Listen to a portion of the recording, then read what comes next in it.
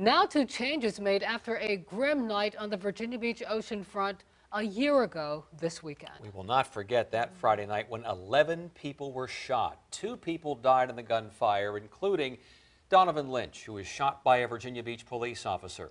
A year later, is the oceanfront any safer than it was? A question on a lot of people's minds tonight. And on your side's Andy Fox is live on the strip to follow up with us tonight. Andy? Yeah, Tom, people we spoke to feel safer.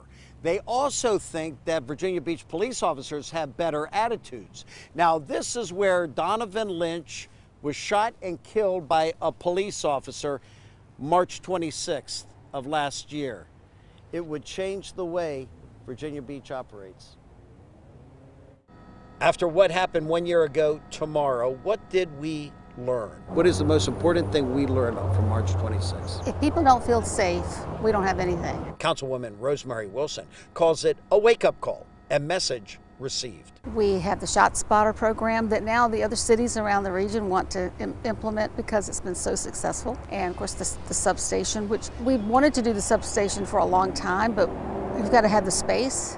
And the opportunity came up, and as soon as it came up, we took it. We provide safety services for the resort area and that's very important. Carlos Torres Pablos is operations manager for Block by Block and closely associated with the resort area ambassadors. And those guys are constantly walking and patrolling the streets in the lookout for any kind of suspicious uh, activities.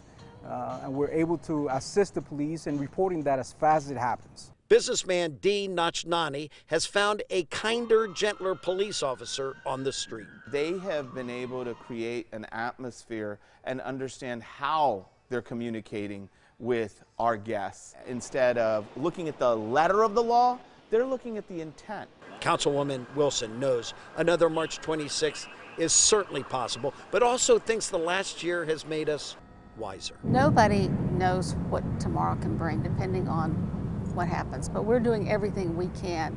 And remember, Andy, we've been named the safest city of our size in America. Donovan Lynch's family will have a candlelight vigil for him out here at Pacific and 20th, where he was shot and killed. That will be tomorrow night at 7 p.m., remembering Donovan, remembering a loved one lost. That's the latest from the resort strip. Andy Fox, 10 on your side.